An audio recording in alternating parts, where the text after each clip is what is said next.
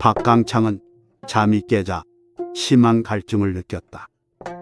머리도 띵하고 무겁기만 하다. 어젯밤 술이 과했던 것이다. 박강창은 혼자 중얼거리다가 아니지. 약수라도 한 바가지 퍼마시는 편이 낫겠구먼. 그의 집에서 잠깐 올라간 곳에 바로 오우동이 다니는 약수터가 있었던 것이다. 족박을 들고 그는 집을 나섰다. 저만큼 올려다 보이는 위치에 당도하자 뜻하지 않은 소리가 들렸다. 여자의 울음소리였다. 순이었다. 박강창도 안면이 있는 그 순이가 발을 구르고 있었다. 아니, 내가 순이에게로 다가가다가 박강창은 숨을 들이켰다. 거기 어우동이 쓰러져 있는 것이다. 약수를 드시더니 벼랑간 아씨가 이렇게 되셨다고요. 약수를 마시고 박강창은 상투에 꽂았던 은재 동것을 뽑아 샘물을 저어보았다. 당장 검푸르게 색이 변한다. 누군가가 흑약을 투입했음을 의생인 박강창은 이내 간파할 수 있었다. 그러나 원인을 캐는 일보다도 오우동을 구급하는 일이 더 화급하다. 거품을 물고 쓰러져 있는 오우동의 손목을 짚어보았다. 다행히 맥은 뛰고 있다. 여느 때는 흐느적 흐느적 느린 박강창이었지만 딴 사람처럼 민첩하게 움직였다. 어우동을 퉁쳐왔다. 내 집으로 가겠다. 저 아래 문 앞에 대추나무가 서 있는 외딴 집이야. 딴 사람이 샘물을 마시면 큰일이니 너는 그 물 말끔히 퍼버리고 뒤따라 오도록 해라. 순이는 허겁지겁 시키는 대로 했다. 박강창이 사라지고 뒤미쳐 순이도 사라지자 바위 뒤로부터 성근이가 얼굴을 내밀었다. 하필이면 이럴 때 그놈이 입맛을 다시다가 하지만 그게 어떤 극약이라고 제놈이 신농시라도 살려내지 못할 걸 으슥으슥 어깨를 들먹이며 산을 내려갔다. 암흑뿐이었다. 그리고 숨이 막히게 답답하다. 어우동은 가슴을 쥐어뜯었다. 악이라도 써야 견딜 것 같아서 외치다가 무엇인가 토하면서 정신이 들었다. 살아났구먼. 아주 가까운 위치에서 박강창의 얼굴이 보였다. 검붉은 피투성이었다. 그곳은 그의 집 정자방이었고 실신 한 채로 거기 뉘어져 있던 오우동이 정신이 드는 찰나 토해낸 피가 그의 얼굴에 뿌려진 것이다. 그만했기 다행이야. 박강창은 소매로 얼굴을 닦았다. 토한 때문일까? 어우동은 속이 후련하다. 운이 좋아서 때를 안 놓쳤지. 의식을 잃고 있었던 동안의 일이니 자세한 격리야 알 턱이 없었지만 약수 마시고 쓰러진 자기를 박강창이 구해주었으리라는 짐작만은 간다. 순이는 겨우 입을 열고 둘러보았다. 부엌에서 약을 다리고 있겠지. 그보다도 더 토해야 할걸. 등을 쓸어준다. 늘 그렇지만 오늘따라 박강창의 손은 더욱 따뜻한 것 같다. 한 차례 더 토했다. 역겨운 구토가 아니라 상쾌한 배설이었다. 그리고 나른한 졸음이 엄습했다. 한참 푹 자고 나면 거뜬해질 게야. 독은 다 풀렸을 테니. 어우동의 머리 밑에 자기 무릎을 들이밀었다. 몸도 마음도 무한히 편해진 것을 느끼며 어우동은 잠들었다. 참으로 오랜 시간 꿈도 꾸지 않고 잘 잤다. 어딜 가시게요? 순이가 종종 걸음으로 따라오며 물었다. 벌써 몇 차례나 되풀이한 물음이었다. 박강창의 집을 나왔지만 갈 곳이 없다.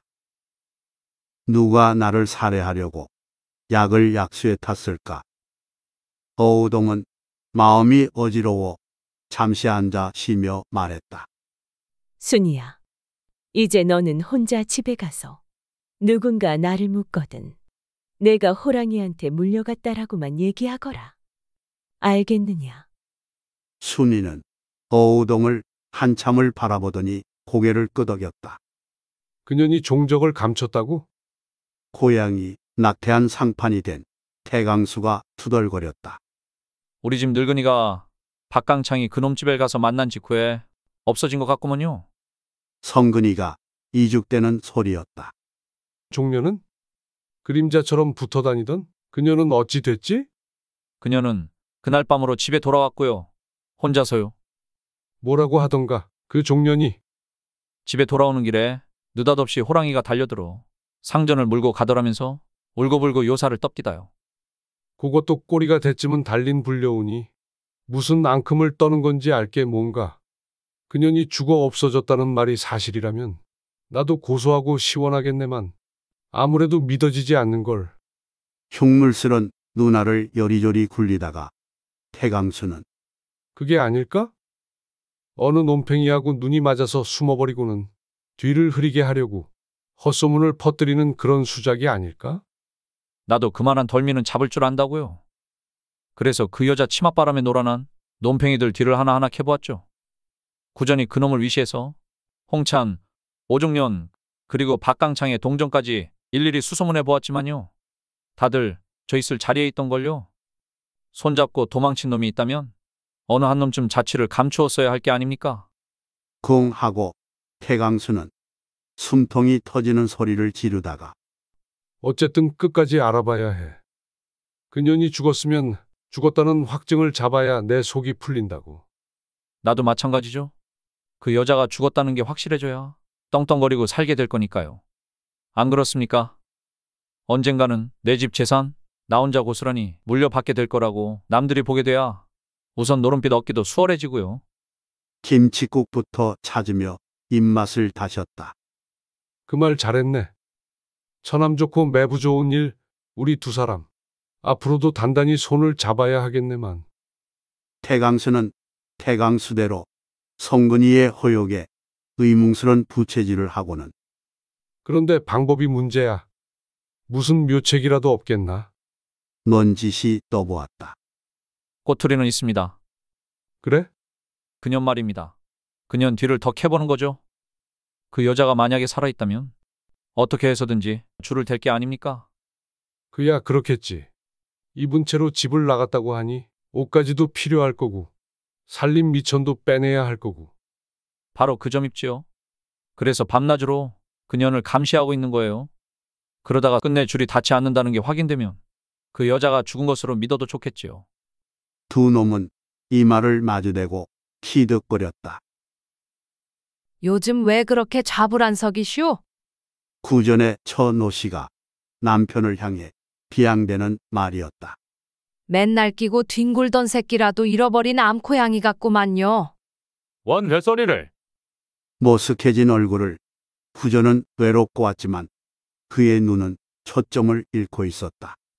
참, 그 소문 들으셨소?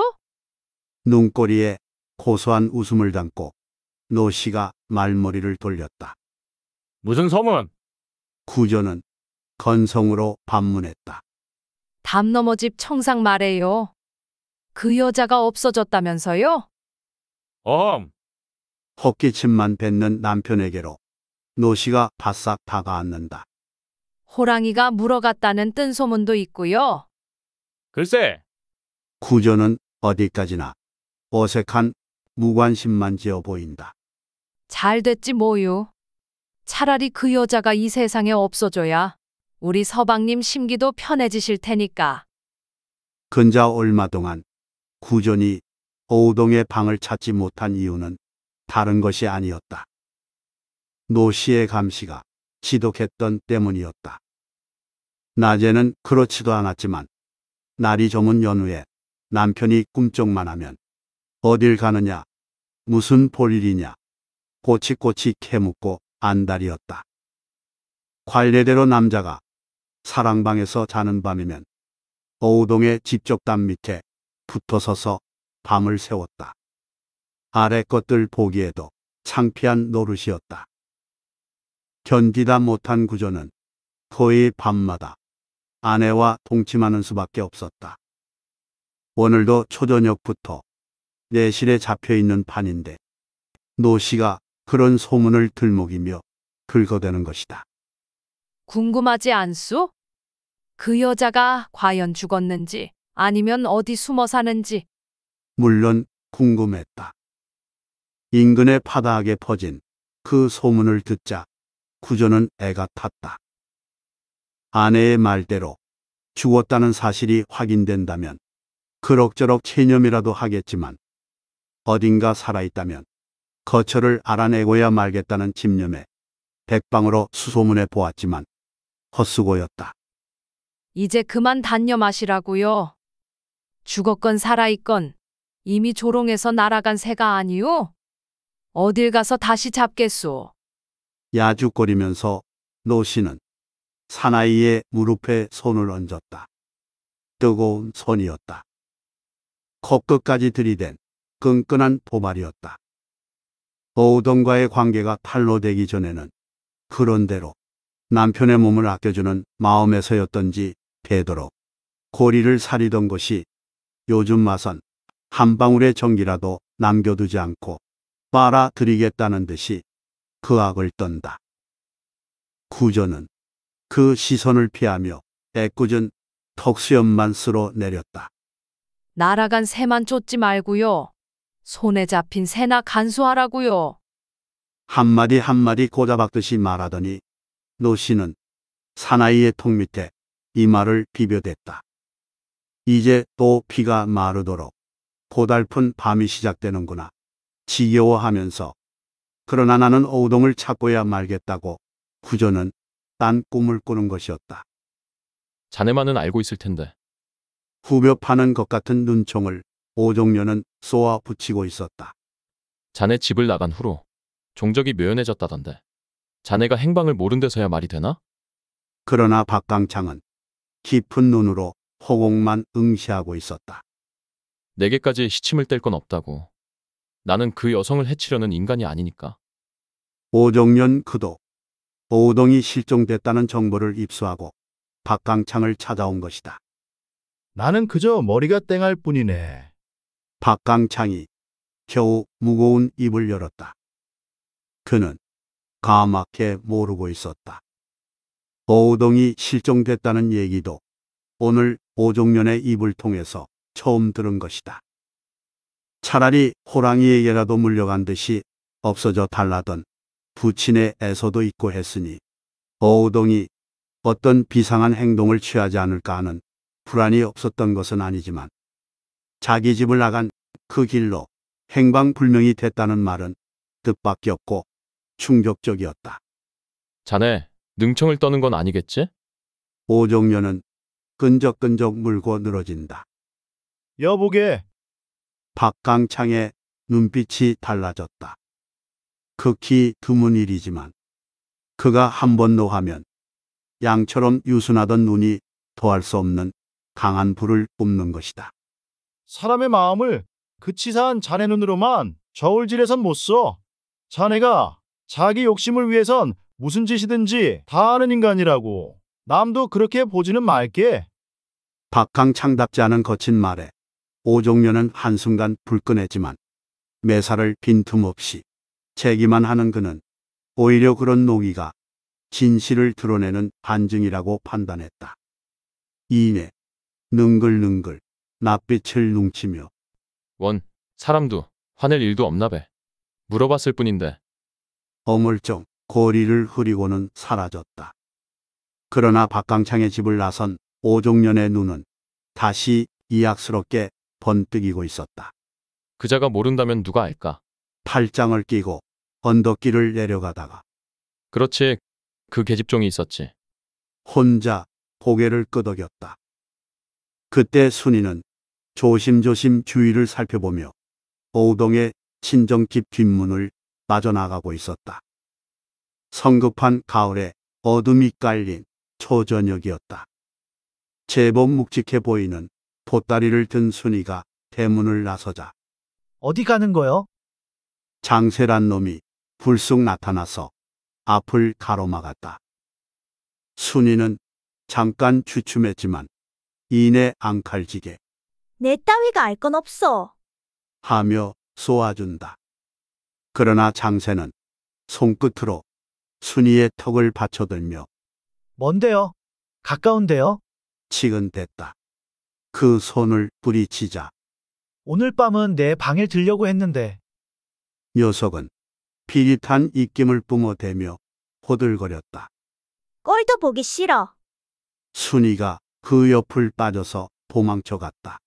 그거 까부네. 다름질을 치면서 순이는 자주 뒤를 돌아보았다. 어둠이 덮여서 확실치 않지만 뒤를 밟는 거뭇한 것이 보인다. 장쇠, 그 녀석일 것이라고 여겨졌다. 줄곧 달리면서 대군동으로부터 흘러내리는 시냇물을 따라가다가 송첨교, 송기교 다리목을 지날 적마다 걸음을 멈추고 뒤를 돌아보는 것이었는데 그 거뭇한 것은 집요하게 쫓아오는 기색이었다. 다시 등으로 꺾어져 모전교에 이르러서도 여전했다. 순이는 입술을 깨물었다. 목적지는 그 다리를 건너서 얼마쯤 더 가는 골목 아니었지만 거뭇한 것에 집요한 미행이 잠옷 꺼림칙했다. 그렇지. 내가 왜 미처 그걸 생각 못했을까? 혼자 소리를 흘리고는 다리를 건넜다. 이번엔 서두르지 않는 걸음으로 남산 쪽을 향해 갔다. 순이가 들어선 곳은 오우동의 외삼촌 정선 달집이었다. 기집애. 어디로 가나 했더니 미행자가 입맛을 다셨다. 역시 장세였다. 이놈아, 뒤를 밟겠으면 똑똑히 밟아야잖아.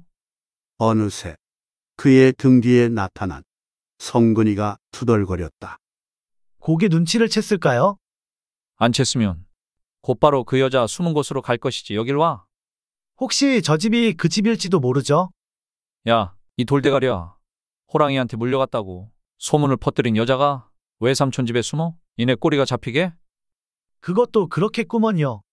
순이년, 어떤 여우라고? 내 놈이 미행하는 눈치를 채자. 앙큼하게 눈가림을 하자는 수작일게야. 그럼 우린 닭 쫓던 개꼬리게요. 장세가 뒤통수를 꺾자 고년이 달기라? 성근이는 곱씹다가 그렇다면 아직도 가망은 있어.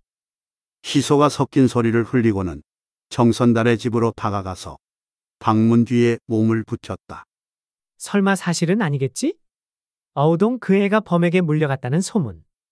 정선달이 묻는 소리가 흘러나왔다. 그 물음에 잠깐 대답이 없다가 사실입니다. 제 눈으로 똑똑히 본걸요. 울먹이는 것 같은 순이의 말소리가 귀를 이었다. 그게 무슨 날벼락이냐? 내가 본 대로 자세히 말해보라고. 아씨는 세상 살 맛 없다는 그런 말을 자꾸 하셨어요. 그래서? 사람 없는 산으로만 자꾸 올라가시대요. 아무리 말려도 들으셔야죠. 저런. 거기가 어디더라? 전 처음 가본 곳이어서 잘은 모르지만요. 해묵은 소나무가 빽빽히 들어선 산속이었어요. 그곳에서 호랑이를 만났다는 거냐? 눈 깜짝할 사이였어요. 앞서 가시던 아씨를 물고는 번개처럼 꺼져버렸어요. 꿈만 같아요. 목맨 소리로 거기까지 말하고는 흐느끼는 소리로 바뀌었다. 엿듣고 있던 성근이는 고개만 꼬았다. 컷. 누구여? 돌연 정선달이 소리쳤다. 성근이란 놈이 자라목이 되어 집 뒤쪽으로 도망치자 방문을 열고 그 뒷모습을 확인한 정선달이 소리 없는 웃음을 새기면서 조용히 물었다. 범에게 물려갔느니 어쨌느니? 모두 다 지어서 퍼뜨린 소문이라? 아씨께서 그렇게 하라고 하시대요. 지금 그 애가 어디 있지? 정선달이 다시 물었다. 다방골이에요. 아씨가 아끼시는 책이라도 갖다 드리려고 그리로 가는데 장쇠 녀석이 뒤를 밟지 않겠어요? 그래서 이 댁으로 온 거예요. 그리고 천연덕스럽게 울먹이기까지 하면서 호랑이가 어쩌고 저쩌고 떠들어댄 것도 도청을 의식한 연기였던 것이다. 다방골이라면 혹시 소춘풍 그 여자 집이 아니냐? 우리 아씨 가실 곳이 있으셔야죠. 그렇겠구먼. 우리 집에 와 있다간 이내 탈로가 날 거고. 그래서 소춘풍이 고나기도 해서 그 집의 몸을 의탁한 것이다. 내가 가봐야겠구나. 얼마나 외로울 거라고. 그렇게 하시면 아씨도 참 기뻐하실 거예요. 그리고 그리고 뭐 왜 있잖아요. 박이생 그분 박강창이란 사람 말이냐? 그이한테는 알려드리는 게 좋겠어요. 얼마나 아씨를 위하신다고요. 아씨 소식 몰라서 무척 속을 태울 거예요. 아씨도 그 사람 좋아하는 것 같더냐? 제가 보기엔 그런 것 같아요. 누구보다도. 누구보다도. 정선달은 곱씹다가 그렇다면 내가 알려줄까? 자리에서 일어선다. 저는 위험하니까요. 누가 또 뒤를 밟을는지 모르거든요. 다녀올 테니 아오님 칼이나 잘 갈아두라고. 누가 아오? 재물에 걸려들 고기가 있을는지. 그럴 때 사양 말고 칼질이나 잘해요. 농인지 뭔가 짚히는 데가 있어서인지 그런 말을 남겨놓고 소춘풍은 사라졌다. 누가 나를 찾아주겠다고. 이 집에 몸을 의탁한 지 며칠 안 되지만 오우동은 벌써 의욕과 현실의 괴리를 아프게 실감하고 있다. 과거와 단절하고 새 출발을 단행하면 전혀 새롭고 자유로운 세계가 전개될 것이라는 기대에 들떠 있었다. 그러나 그 꿈이 얼마나 들큰한 꿈이었는가를 알게 된 것이다. 우선 기대했던 자유는 하나의 굴레에 묶이지 않을 수 없었다. 정체를 감추고 숨어 살자니 바깥 출입은 극도로 삼가야 했고 과거를 버렸으니 과거와 인연 있는 누구도 찾아주지 않는다. 그렇다고 새로운 인간 관계가 쉽게 이루어질 수도 없다. 오늘처럼 소춘풍이 외출하고 나면 집에 남는 사람은 자기와 심부름하는 여자아이, 그리고 기모거리 참모뿐이다. 대화의 상대조차 되지 않는다. 답답하고 지리한 나날이었다. 제 손으로 엮은 창살 속에 스스로 갇혀 사는 거나 다름이 없었다. 순이라도 왔으면 싶었지만 늘 감시하는 눈이 있어서 여의치 않다는 얘기를 엊그제 찾아온 정선달로부터 들었다. 그럭저럭 그날도 저물어 어둠이 기어들자 오우동의 답답함은 한층 짙어진다. 낮을 보내기도 지겨운 노릇이었지만 밤의 지리함은 더더구나 견디기 어려웠다. 기분의 무료함에 생리적 허전함까지 겹쳐서 심심을 꼬아대는 것이다. 정선달을 통해서 순이가 보내준 책가지를 펼쳐놓고 뒤적여 보았지만 눈에 드는 글귀도 없다. 짜증만 자꾸 치미는데 심부름하는 아이가 방문을 열었다. 손님이 오셨는데요. 오우동은 이 말을 찡그렸다. 이 집에 온 손님이라면 소춘풍을 찾는 유객일 거고 그렇게 분주히 팔리는 동성에게 가벼운 질투까지 느껴진 것이다. 형님 안 계시다고 돌려보내면 될 게 아니냐. 자기도 모르게 가시 있는 말로 쏘아주었다. 그게 아니고 작은 아씨 뵙겠다는 분이던데요. 나를 가슴이 섬뜩하다. 과거의 누군가가 벌써 냄새를 맡고 기어든다면 무슨 죄라도 진 것처럼 반사적으로 겁이 드는 자신이 싫어지기도 한다. 어떤 사람이더냐. 우선 정체부터 알아야 대응책을 세울 수 있다. 남정네던데요. 어디서 온 누구라고 하지 않더냐. 되물으면서 과거의 망령들을 떠올려 보았다. 만나 뵈면 아실 거라고요. 누구일까? 사냥개 같은 성근 이 녀석일까? 공 같이 질긴 구전일까? 찰고머리 같은 오종년 그자일까? 지금 모두 꼴도 보기 싫은 화상들이다. 내가 이 집에 있다는 말 했냐? 잘 모르겠다고. 안에 들어가서 여쭤봐야 하겠다고. 그저 그래 두었어요. 그거 잘했다고 가슴을 쓸어내리는데 마당을 가로질러 외딴 이 방을 향해 누군가가 다가오고 있었다. 박강창이었다. 그도 과거의 인간이긴 하지만 그라면 괜찮다.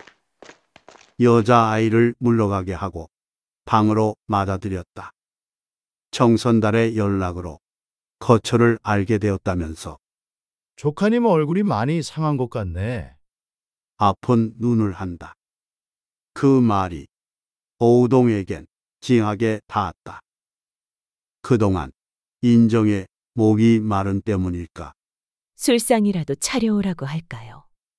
오래 헤어졌던 오랍이라도 만난 것 같은 차분한 반가움이었다.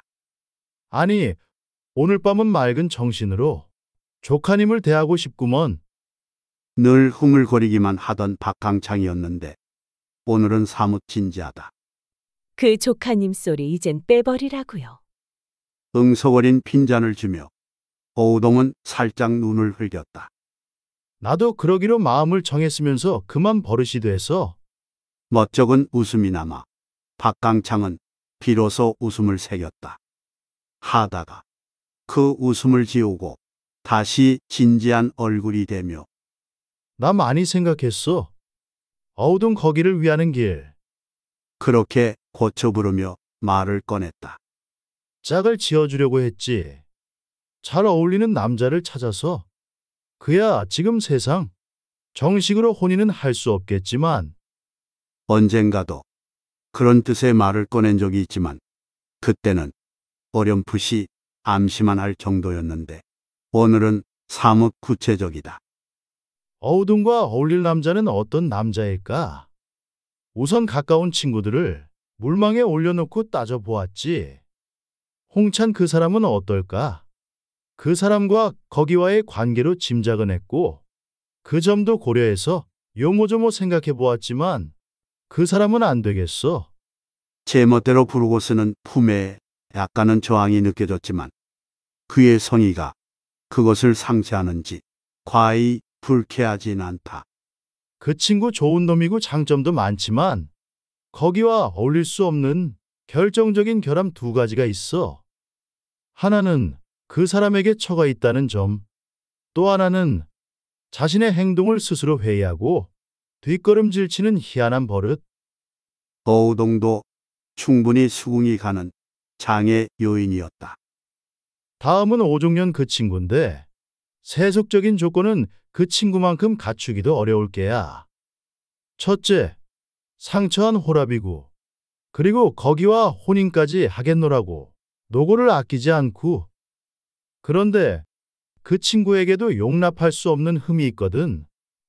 어우둥을 좋아하는 정은 누구 못지 않지만 탐이 나는 꽃을 꺾고 독점하려는 욕정뿐이란 말이야. 어우둥이 원하는 것, 아쉬워하는 것을 아낌없이 채워주려는 지성이 없어. 시장하고 목마른 어우둥에게 도저히 어울리지 않는 사나이지. 오종년의 치사한 음모의 내막을 자세히 모르는 오우동이지만 그에게 품고 있는 감정은 박강창이 지적한 것과 비슷하다. 아무리 찾아봐도 없어. 탄식조로 뇌까리는 소리가 너무 독단적인 듯 싶어서 그럼 생과부로 늙어 죽어야만 하겠네. 오우동이 살며시 꼬아보자. 아니, 있어, 단 한 사람. 힘주어 말하며 박강창은 두 눈에 불을 담았다. 나 박강창? 잘라 말하며 그는 어우동의 손을 잡았다. 아직도 명색이 총각이니 가슴에 못이 박힐 여자도 없고 성은 박가지만 본관이 다르니 남남이나 마찬가지고 그보다도 어우동 거기가 원하는 거 아쉬워하는 걸 아낌없이 채워줄 지성이 그득하고 어안이 봉봉해진다. 이런 식의 후회도 있을까? 그의 호의, 목숨까지 건져준 성이 진작부터 깊이 새기고 있다. 그러나 그런 충정을 10분 기울이면서도 자기를 내세우진 않았었다. 오우동을 위해서 진력하되 자기는 마쿠의 심부름꾼으로 자족해 왔었다. 그러던 그가 이제 무대 위로 뛰어오른 것이다. 임자는 어떻게 생각하오? 이때까지 사용한 조카님이니 거기니 하던 호칭까지 바꾸어 성큼 가깝게 벌써 내외간이라도 된 것처럼 임자라고 부르면서 그는 오우동의 손목을 잡은 손에 힘을 주었다. 당혹한 것은 순간이었다. 내 의향은 어떠냐고 따져 묻는 소리를 듣자 그것이 되레 새삼스러울 만큼 그와의 결합은 지극히 자연스러운 귀결로 여겨졌다. 꼭 말을 해야만 하나요? 손목을 잡힌 그의 손등에 오우동은 또 하나의 손을 얹었다. 이렇게 편하고 유순한 마음이 되어 보기는 처음이다. 그렇구려. 말은 그다지 요긴한 게 아니지. 그보다도 그도 또 하나의 손을 겹치면서 일어서더니 우리 절이나 합시다. 또 당돌한 소리를 한다. 이젠 말시도 영락없는 내간의 그것이다. 세상이 못돼서 얘는 갖출 수 없는 형편이오만 사주단자 의양단자도 못 보냈고 나패도 없었고 또 내 복색 장복도 아니고 사모도 안 썼고 서띠도 두르지 않았소만 여기는 신부집 그리고 이 방을 초래청으로 여기면 될 것이 아니겠소. 제멋대로 주워 섬기는 녹살에 오우동은 미소하면서 자기도 엉거주춤 일어섰다. 절 받으시오, 낭자. 그가 먼저 절을 할 요량인지 이마에 두 손을 가져간다. 그런 법이 어디 있어요? 그런 법은 없다. 예도를 따지자면 동향하고 선 신부가 소양하고 선 신랑에게 재배하면 신랑은 담배로 응하는 것이 법이다. 그까지 캐캐 묵은 격식. 남자는 하늘, 여자는 땅이라는 차별. 우리 둘 사이에서만은 걷어치웁시다. 차라리 맞절을 할까?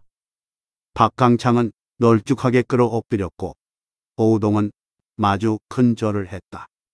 수모도 없으니 금배에 술 따라 권하지도 못하겠고 이런 저런 헐에 접어두고 이걸로 초래는 마친 걸로 합시다.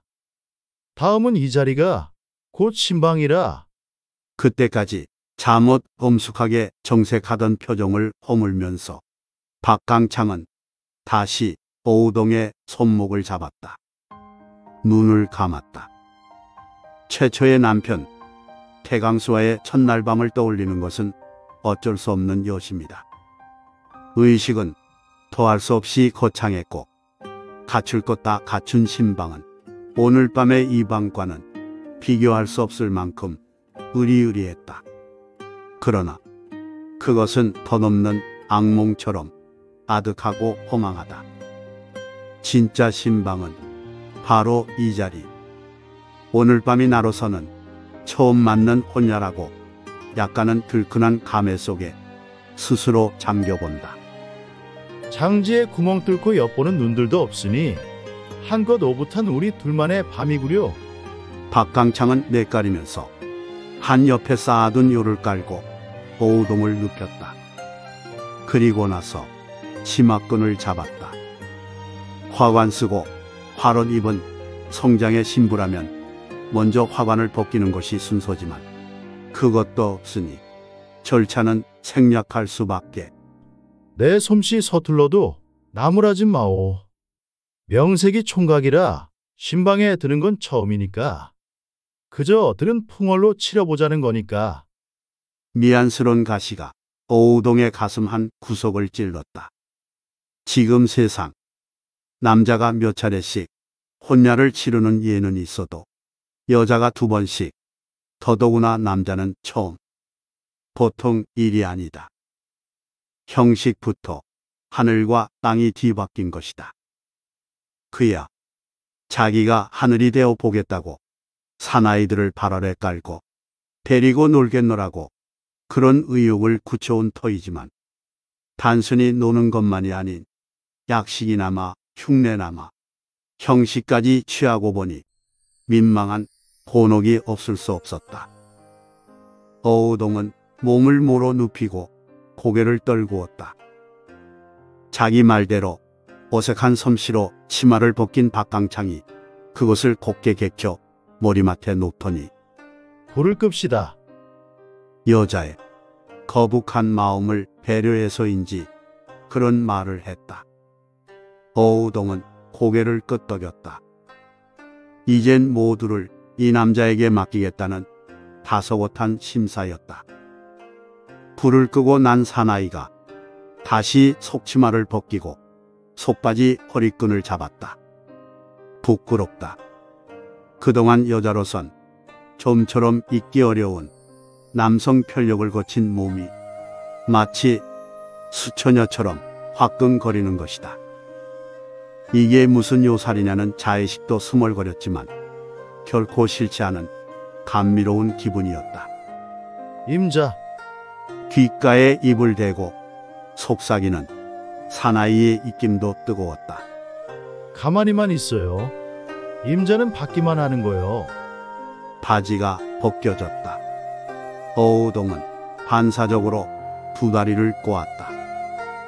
다른 남자들에게 그랬던 것처럼 거부의 문단속은 물론 아니었다. 그것도 청렬한 수줍음이었다. 마지막으로 저고리.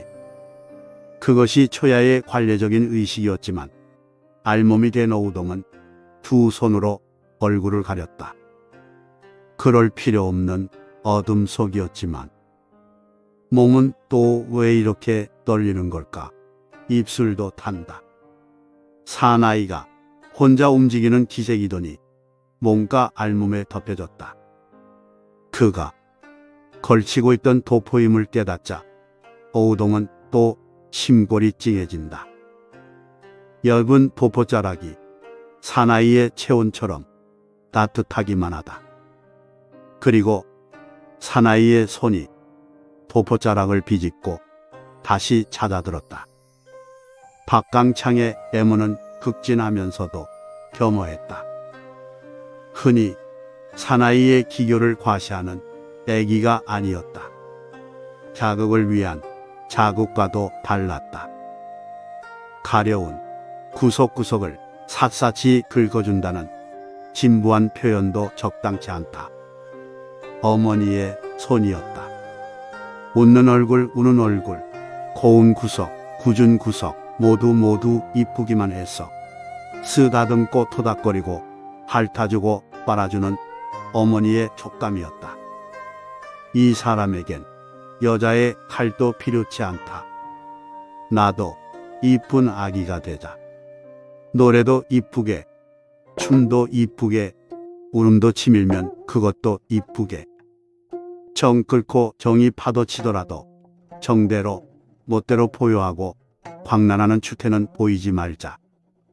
어우동은 조용히 백열처럼 잔잔히 타고 있었다. 정말 이쁘구려. 임자는 그런데 도우동의 마음이 그대로 스며든 것일까? 사나이가 뺨을 비볐다. 적지 않은 구렛 나릇이 깃털처럼 보드랍기만 하다. 마침내 그는 들어왔지만 타인의 이물이 아니었다. 자신의 일부처럼 미끄럽고 뿌듯하게 채워질 뿐이었다. 그저 하나가 된 받은 만큼 그만큼 알차게 부푸는 충족감이었다. 시작도 끝도 의식할 수 없는 황홀경만이 오래 지속되다가 여체의 전부가 풀어지는 나른함 속에 오우동은 깊이 잠겨 들어갔다. 그러나 어우동의 심상 내부에선 그와는 모순된 이질적인 무엇이 움틀거리기 시작했다. 이것은 무엇일까? 아쉬울 것 없는 완전한 상태. 내가 추구해온 것은 이것일까? 꽉 찼으면서도 넘치지 않는 늪. 이 상태가 언제까지 유지될 것인가? 이대로 속 깊이 썩어 들어가는 것은 아닐까? 불안한 눈을 떠보았다. 어느새 불이 밝혀져 있고 박강창은 단정히 옷을 입고 있었다. 가시게요. 장가들면 3일을 치르는 의례라지만 임자 처지가 어디 그렇소? 이 집 반주인 돌아오기 전에 내가 물러가는 편이 임자 마음에 편할 거요. 타당한 배려였다. 하지만 그가 가겠다는 말을 들으니 고개를 든 불안이 더욱 짙어진다. 겁이 나네요. 혼자 자는 게 어린애처럼 눈이 밝은 박강창도 지금 오우동의 마음의 갈피가 보이지 않는 모양이었다. 달이 차면 기운다고 하지 않아요. 그래서 겁이 난다니까요.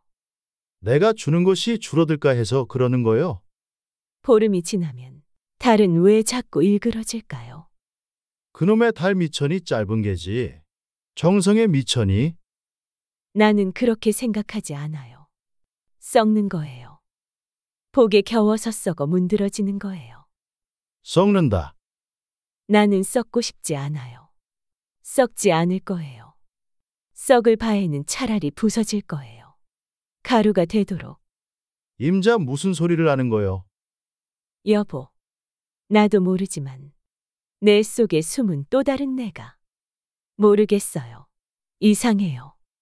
자신의 내부에서 꿈틀거리는 그것의 정체는 무엇일까? 실증이 오지 않을까? 그걸 두려워하는 거요. 박강창이 겨우 그렇게 풀이한다. 비슷한 해석이지만 꼭 그렇지만도 않은 것 같다. 새는 왜 날아갈까요?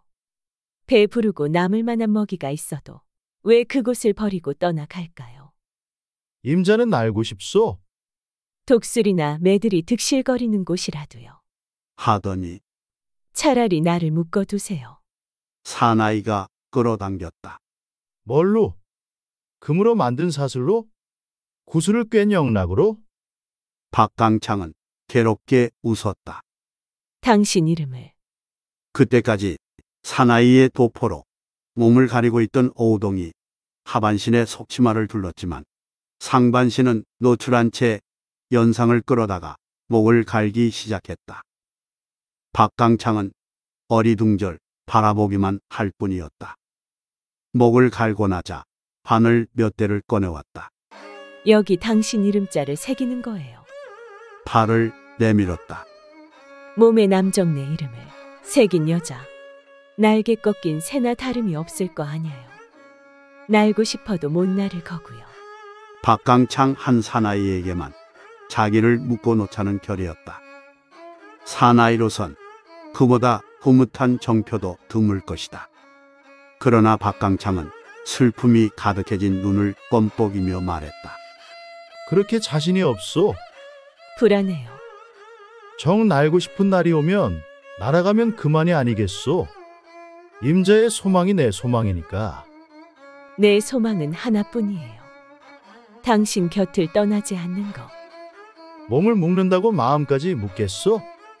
훗날 다른 하늘을 그리며 임자가 애처롭게 울게 될 날이 온다면 나는 참아보지 못할 거요. 사나이의 손에 오우동은 바늘을 쥐어주었다. 아플 텐데 마음은 아프지 않을 거예요. 박강창은 떨리는 손으로 오우동의 외팔에 바늘을 찔렀다. 통렬한 아픔에 비명이 터지려는 것을 겨우 삼켰다. 자기 손으로 사나이 구전의 몸에 바늘을 꽂은 경험은 있지만 자기 몸에 그것을 맞아보기는 처음이며 그 아픔이 이토록 극심하리라고는 미처 예상도 못했었다. 괜찮겠소? 박강창이 손을 멈추었다. 이마의 땅까지 방울방울 솟는 얼굴에 오우동은 애써 미소를 지으며 고개를 끄덕였다. 이 아픔에 고비를 견뎌내는 것만이 앞으로의 삶을 지탱하는 힘이 될 것이라고 어금니를 깨물었다. 다시 바늘을 꽂으면서 박강창도 방울방울 식은 땀을 떨어뜨리고 있었다. 그의 얼굴은 어우동보다도 몇 갑절 더 아파하는 우는 얼굴이었다. 정말 좋은 사람이다. 나보다도 더 나와 가까운 사람. 이 사람은 두고두고 내 속에 있어야 한다. 안 되겠소. 나는 못하겠소. 비명 같은 소리를 흘리며 박강창은 바늘을 던졌다.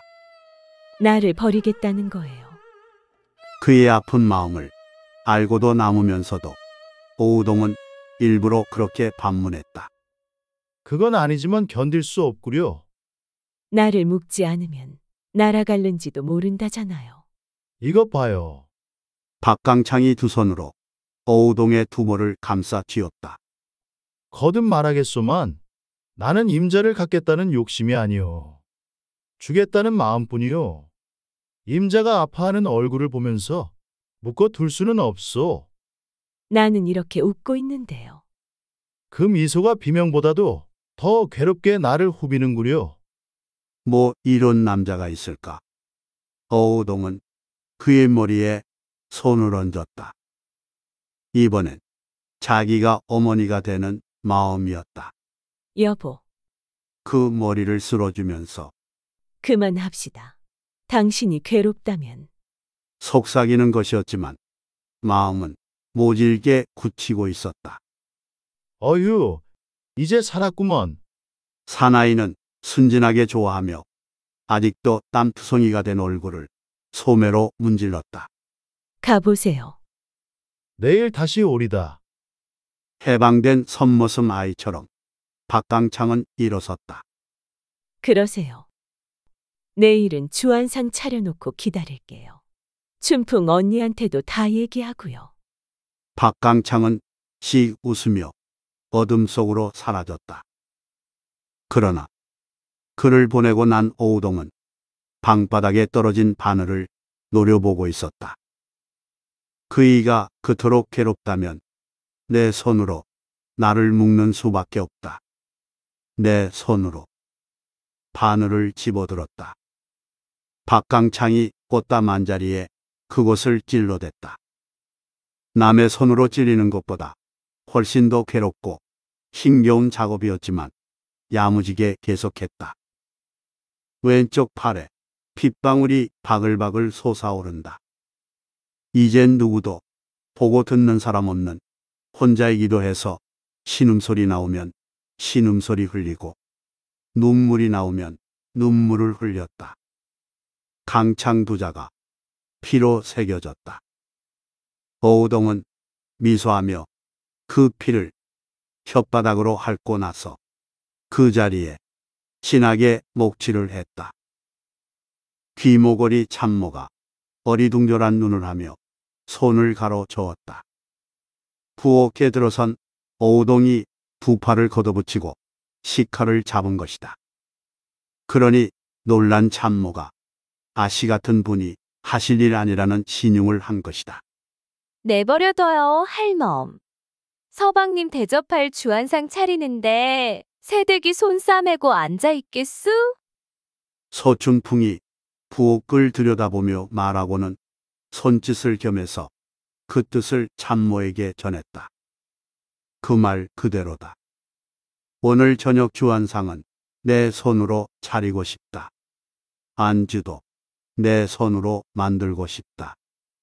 이렇게 식칼을 잡아보는 것은 얼마만일까?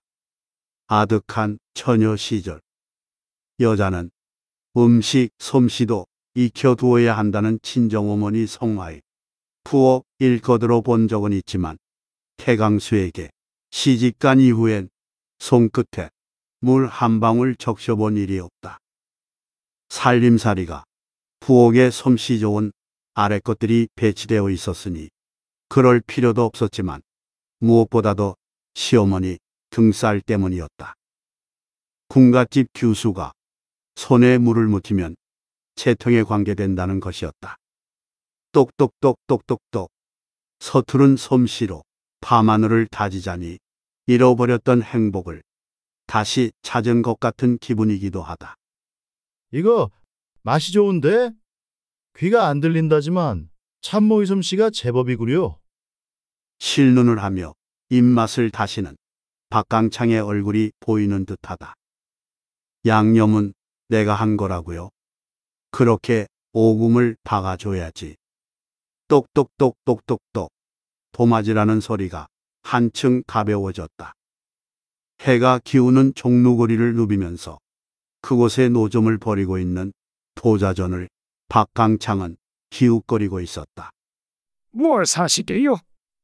여기서 나낙네들 폐물만 파는 뎁쇼. 별 볼 일 없다는 투로 늙은 전주가 투덜거린다. 남자들에겐 못 파는 물건들인가. 희죽거리는 박강창의 얼굴이 행복에 들떠 있다. 늦기는 했지만 어우동에게 줄 예물을 사려는 것이다. 뭐 팔 건 없습주만 도대체 못에 쓸 어떤 물건을 찾으시오? 여전히 퉁명스런 소리로 전주는 묻는다.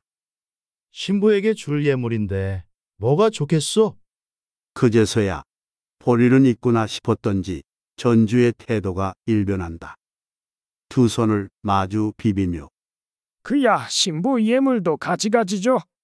금가락지, 은반지, 옥비녀도 좋곱쇼. 박강창이 이것저것 훑어보다가 이게 좋겠구먼. 금가락지 한 쌍을 집어들었다. 눈어림 짐작으로 오우동의 손가락에 꼭 맞을 듯 싶다. 그가 돈을 치르고 다방골 쪽으로 꺾어들자 그의 뒷모습을 쏘아보는 눈이 있었다. 직업이었다. 지난날 태강수에게 매수되어 오우동의 몸에 문신을 새기려고 덤비던 그 놈이다. 저자는 전이감 생도 바가무게 어우동 그 여자와 어쩌고 저쩌고 하는 소문을 들었는데 그놈이 예물을 사간다. 중얼거리며 박강창의 뒤를 밟기 시작했다. 손 좀 내밀어 보. 싱글벙글 들어선 박강창이 느닷없이 하는 말이었다. 손은 왜요? 되물으면서 오우동은 놀란 얼굴이 된다. 자기 손으로 그의 이름을 새긴 비밀을 간파한 것이 아닌가 하는 지레 짐작에서였다. 늦었지만 예물을 가져왔소. 소매 속에서 그 금가락지 한 쌍을 꺼낸다. 물질적으로는 아쉬울 것 없이 살아온 오동이었던 만큼 그런 평범한 금가락지 따위에 다른 사람이 주는 것이라면 시덥지 않았을 것이다. 손에 끼는 것조차 촌스럽게 느껴졌을는지도 모른다.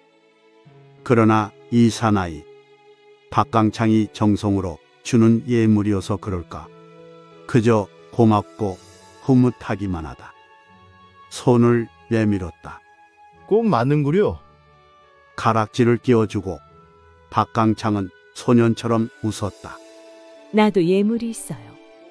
어우동도 소녀처럼 들뜨는 마음으로 팔을 걷었다. 그 팔에 새겨진 자기 이름자를 보는 박강창의 눈이 크게 해벌어졌다. 누가? 임자 손으로? 어우동은 미소하며 고개를 끄덕였다. 어리석은 사람. 내까리면서 해버렸던 눈을 박강창은 껌벅거렸다. 눈물 한 방울이 흘러내렸다. 좀처럼 보기 어려운 사나이의 눈물이었다. 내가 좋아서 한 노릇인걸요. 제법 새겼죠. 일부러 제제거리다가 내 정신 좀 봐. 주안상 들여와야지. 어우동은 어깨를 흔들며 부엌으로 달려갔다. 잠시 후 상을 차려들고 방으로 들어가자 담 너머로부터 한 사나이의 얼굴이 나타났다. 직업이었다. 잘들 논다. 어우동의 거실 쪽을 쏘아보며 그는 중얼거렸다. 행방을 알 수 없다던 그 여자가 이 집에 숨어 산다. 박강창 그놈은 예물을 사들고 찾아오고 태강수가 알면 미치겠지? 한미천 단단히 우려낼 만한 기막힌 소식이라. 가볼까? 담 밖으로 뛰어내린 직업이란 놈. 그러나 주춤하며 고개를 꼰다. 돈도 좋지만 말이여. 태강수가 알게 되면 저 여자를 그냥 두지 않을 거라. 무슨 수를 써서라도 죽여 없앨 텐데. 그것도 아까운 노릇이고. 놈은 꿀꺽침을 삼켰다. 어떻게 생겨먹은 여자가 그렇게 사내 마음을 후리지? 그때 태강수 부탁으로 자자를 새기려고 했을 때, 그 여자 속살을 처음 봤을 때, 내 눈알이 불덩이가 되는 것 같았거든. 제품에 흥분해서 허리를 비비꼬며 어디 그날 밤만 그랬나? 밤마다 그 여자를 미치게 생각하면서 곡을 한번 안을 수만 있다면 당장 죽어도 한이 없겠다고 안 했누. 뇌까리다가 얘라 모르겠다. 그 자리에 주저앉아 버렸다. 어서 드세요. 내 모처럼 만들어 본 음식이라고요. 어우동은 재촉했지만 박강창은 침울하기만 했다. 그게 아닌데 나는 주기만 해야 하는데 임자를 그렇게 괴롭히다니 무엇을 뜻하는 말인지 충분히 알아들으면서도 뭐가 괴롭다고 그래요. 서방님 주안상 차리는 일 내겐 기쁘기만 했는걸요. 장난스레 겼는지를 흘긴다. 무슨 소리? 천하 진미인들 이보다 더 하겠소? 박강창은 허둥지둥 파전 한 점을 집어 삼킨다. 그러나 목이 매는 얼굴이었다. 목도 축이시라고요. 술 한 잔을 따라서 오동이 반쯤 마시더니 사나이의 입에 들이댔다. 두 사람만의 오뭇한 합환주였다. 듭시다. 가슴에 아픔을 떨쳐 버리듯이 도리질을 하고는 이번엔 박강창 그가 술을 따라 반쯤 마시고 내밀었다. 한 손으로 술잔을 받은 오우동이 다른 손으로 안주를 집어서 사나이의 입에 가져갔다. 일찍이 어느 남자에게도 보인 적이 없는 알뜰함이었으며 오우동의 성격으로는 생각도 못 해본 행위였지만 오늘은 그렇게 하고 싶다. 사나이의 입이 자기 것 이상으로 여겨지는 것이다. 그렇게 몇 차례 술잔이 오고 가자 오우동 정골이 맑고 뜨겁게 달아올랐다. 사나이의 가슴에 얼굴을 묻었다. 내가 왜 이렇게 자꾸 어려만질까? 이것이 받는 여자의 어리광일까? 둘은 지극히 자연스럽게 뜨거운 하나가 되었다. 벌레 소리 낭자한 어둠 속에 주저앉아서 직업인은 투덜거리고 있었다. 이게 무슨 청승이지? 지금쯤 연놈이 한창 재미 보는 판일 텐데 내 꼴은 무슨 꼴이지? 벌떡 일어서서 애꿎은 돌멩이만 발길로 찬다. 벌레 소리가 뚝 그쳤다. 고진감 내라. 단맛을 보자면 좀 다시는 것도 어쩔 수 없는 노릇이라고. 격에 맞지 않는 문자를 곁들이며 도로 주저앉는다. 박강창의 팔을 빼고 오우동은 곱게 잠들어 있었다. 초저녁부터 현채로 끄지 않은 촛불이 소리 없이 타고 있었다. 어우동의 잠든 얼굴을 박강창은 들여다보며 혼자 소리를 흘렸다. 이렇게 티 없는 사람이 세상을 잘못 만났어. 팔을 빼고 베개를 끌어다가 베어주고 일어서려는데 오우동이 눈을 떴다. 벌써 가시게요. 남의 눈은 조심해야 하니까. 깜뻑잠이 들었는데 그런 시각이 됐나요? 오래지 않아 날이 밝을 거요. 오우동이 몸을 일으키더니 돌아앉아 펑크러진 머리를 손질한다. 왜? 더 자지 않고 정드님 떠나시는데 전송이라도 해야지요. 상긋이 웃는 얼굴을 감싸 쥐면서 내가 가면 아주 가나? 이별은 단 하루라도 아쉬운 거예요. 그들답지 않게 달큰한 미로를 주고받다가 오우동이 야옥개를 떨었다. 이상한 한기가 느껴진 것이다. 둘은 뒷문으로 빠져나갔다. 아직은 한밤중처럼 캄캄하다. 그만 들어가 보. 박강창이 걸음을 멈추고 종용했다. 더 걷고 싶어요.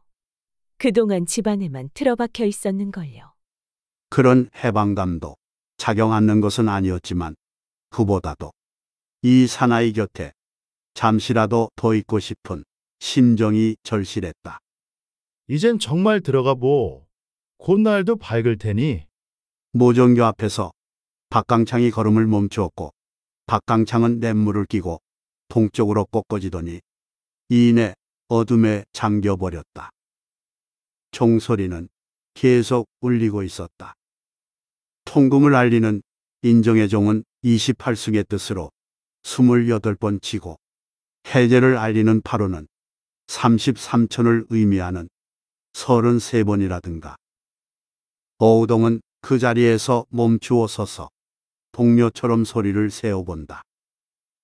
사나이의 모습은 보이지 않지만 종소리가 끝날 때까지라도 목성하는 것이 정을 아는 여자의 도리일 거라는 유치한 생각이 들기도 하는 것이다. 붕 둔탁한 여운을 끌며 종소리가 그쳤다. 그제서야 오동이 아쉬운 발길을 돌리려고 하는데 무겁고 찬 손이 덜미를 잡았다. 나 누군지 알겠어? 키키한 입김을 뿜어대는 사나이의 목소리. 그날 밤 남산 외딴 정자에서 수영 바늘을 꼬나 들고 설치던 그 종놈임을 오우동은 이내 알아차릴 수 있었다. 알았으면 고분고분 굴라고. 놈은 덜미를 잡은 채 모전겨 다리 밑으로 끌고 내려갔다.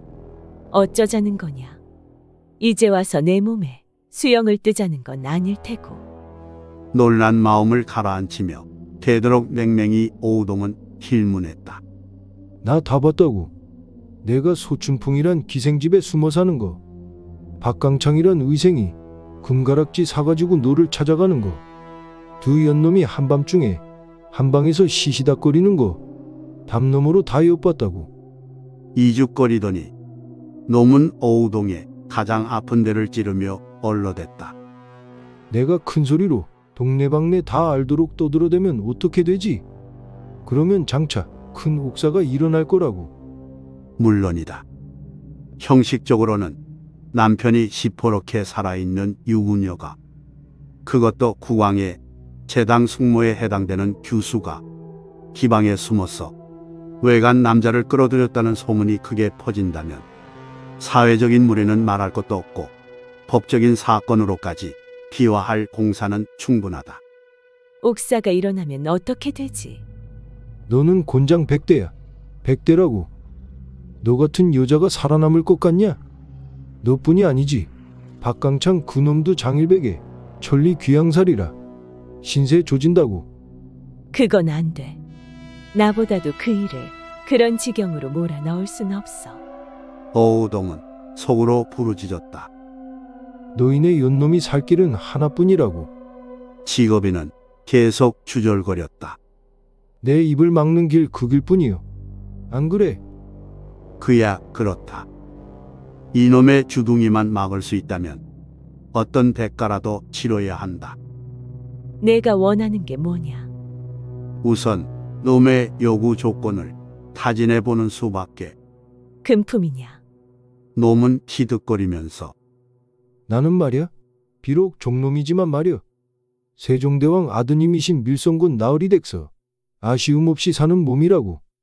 치사하게 돈이 욕심나서 이러는 줄 알아. 돈이 아니라면 종놈에게도 돈보다 더 아쉬운 게 있다고. 바로 너.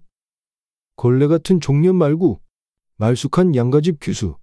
우리네 종놈을 버러지처럼 내려다보는 너 같은 계집을 깔고 뭉개보자는 욕심. 게다가 내년은 보기만 해도 회가 동안는 일품이거든. 속셈을 털어놓는 직업이의 주둥이는 걸쭉했다. 징그러운 버러지가 귀 속에 들어와서 웽웽거리는 것만 같은 역한 오욕감에 치가 떨렸다. 내가 이런 짐승에게까지 이렇게 당해야 하나. 어떻게 할래? 덜미를 잡고 있던 손으로 오우동의 턱을 받쳐들었다. 그 손을 오우동은 주먹으로 후려쳤다. 반사적인 행동이었다. 원래래 싫다는 거요. 놈의 입김이 거칠어졌다. 이놈 저놈 닥치는 대로 붙어 먹은 주제에 그래도 나 같은 종놈은 싫다? 그러지 말라고. 양반 놈들이나 종놈이나 한꺼풀 벗겨보면 알몸은 매한가지라고. 다시 덜미를 잡고 그 손에 힘을 주었다. 그래도 앙탈을 부린다면 힘으로라도 내년을 조져댄다고. 아직도 날은 박지 않았고 여긴 으슥한 다리 밑. 그렇다. 차라리 그 말대로 힘으로 나를 겁탈한다면 어우동은 눈을 감았다. 견딜 수도 있다. 미친 개에게 물린 셈 치고 내가 죽고 사는 건 내 혀끝에 달렸거든. 놈은 능글맞게 얼러댔다. 좋을 대로 하라고. 곤장 백대 맞고 뻗어버리든지 치맛자락을 한번 시원히 들추어 보든지. 이런 공경 처음은 아니다. 구전 그자에게 환멸을 느끼고 내대자 한밤중에 기어든 그가 동침을 휘두르며 얼굴에 앙팽이를 그려주겠다고 협박한 경험도 있다. 그때는 데리고 놀자 살살 구슬리는 여유를 갖자는 마음으로 그를 달래고 미친 개에게는 그것만이 마지막 약이라고 속치마를 흔들어 촛불을 껐었다. 그렇다고 이 종놈 역시 데리고 놀 수는 없다. 구전 그자와는 한때 정을 통한 사이며 그런대로 끌끌한 구속도 없지 않았지만 이놈은 어느 모로 보나 구린내만 물씬한 구종물이다. 그리고 지금의 나는 그 당시의 오우동과 같은 오우동이 아니다. 소년처럼 좋아하며 박강창이 끼워주던 금가락지가 세상 아프게 손가락을 조인다. 그의 이름을 새기던 팔의 아픔도 되살아난다. 잘 생각해 보라고. 덜미를 잡은 손을 떼면서 직업인은 어세를 뭉쳤다. 눈 딱 감고 단 한 번이면 그만이라고. 두고 들볶진 않을 거요. 그걸로 내 입은 벙어리가 되는 거니까. 안 그래? 한 번이라도 너하고 관계를 한 내가 입을 연다면 누구보다도 내가 먼저 죽거든.